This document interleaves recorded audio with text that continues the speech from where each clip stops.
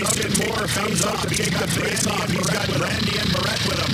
Fielding and lead. Fielding and lead. Going into the net. Bring going into the net. Bracers. Six attackers.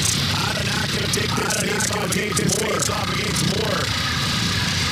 Moore wins that cleanly. Wins that cleanly. Puts it behind the Fielding puts it behind rims around the. Rims it around the board. The bouncing Clark. Bouncing